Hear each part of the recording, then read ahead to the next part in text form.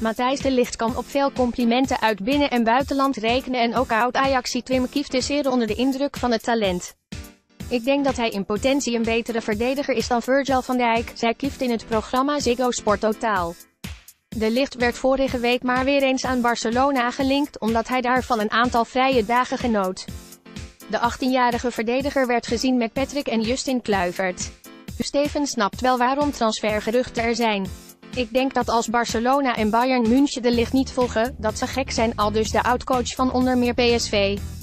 Het is een fantastische verdediger. Ik denk dat hij het in de toekomst wel gaat maken. Andries Jonker ziet nog wel verbeteringen en hij zou graag zien dat de licht komende zomer nog niet vertrekt naar het buitenland. Laat hem nou eerst 100 wedstrijden hier spelen. Als ik het eerste kwartier zie, dan wordt hij door zijn benen gespeeld of vlak langs hem in de 16. Daaruit komt Groningen bijna voor de goal.